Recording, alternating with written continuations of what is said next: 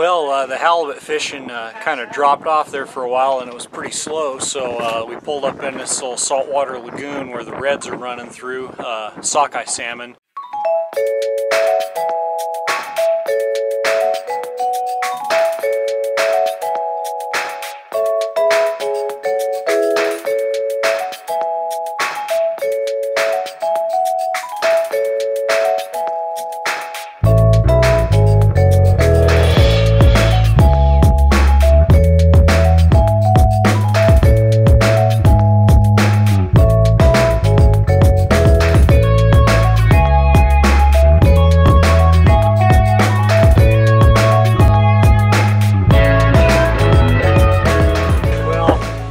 Else is having a little bit better luck with this than me, but I'm finally getting it together a little bit. Got a got a nice red on the line, and we gotta snag them in here because they don't. Once they they kind of start heading towards their spawning grounds, they won't bite a hook.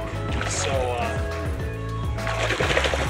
so this is the best way to get them.